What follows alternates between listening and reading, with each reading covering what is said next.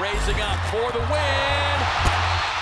37 year old Patrick Batillo dressed up every Suns game to play the persona of Mr. Orange. Phoenix back in front. He's got a 40 piece. Endearing himself to the community as a fun, dedicated superfan.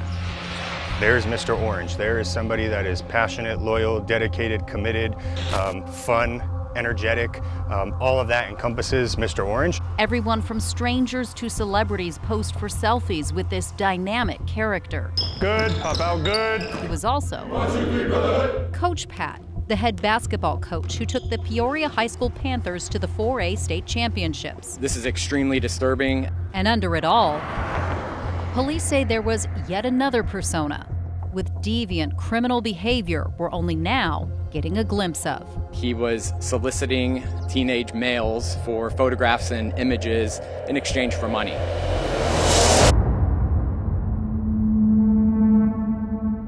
Child sexual predators have to be loved. They need to be that really great guy that's loved by everyone. Jessica Nicely runs Winged Hope, a nonprofit in Mesa. She helps sex abuse survivors and trains counselors, law enforcement, and families on the red flags to watch for. That energy, that excitement, that buzz. She says this is a classic case with a suspect going out of his way to take students to games to impress them. He's actually like sort of famous in the arena. At least six people like, "Can I get a picture? Can I get a picture?" I was like, "Oh, so he's actually like, he's actually famous for real." Like, "Can I get a picture, please?" I was like, "Oh my god." Police are investigating the possibility of more victims. The district says Batillo passed a background check when he was hired. Jessica says all predators will until they're caught.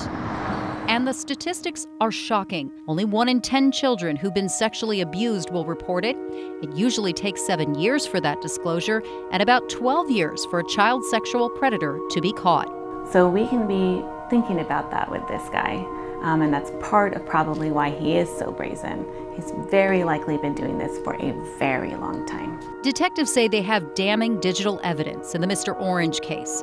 Snapchat messages with a 16 year old boy asking for graphic photos and videos and at least one payout.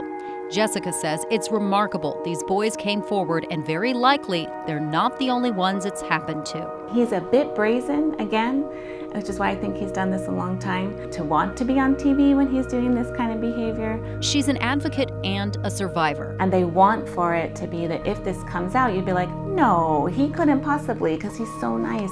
And she knows firsthand the manipulation and premeditation it takes to cast doubt should any survivor find the courage to tell. And it appears that might have happened here. There was another teacher that was also involved. Detectives arrested the teacher the boys went to for help, saying instead of calling to report it right away, she sent the boys to the office back to class and confronted Batillo herself. And I, I want to commend these young boys who came forward because that does not happen often. They told quickly.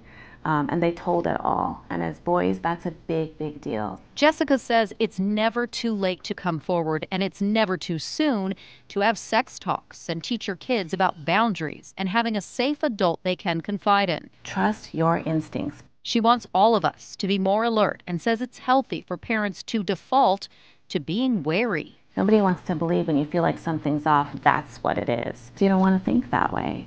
So I'm asking parents to think that way. Because while some criminals wear masks to commit crimes, ones who can do the most damage are most often hiding in plain sight. Don't stop talking about this when we've forgotten about this guy next week. Keep talking about it.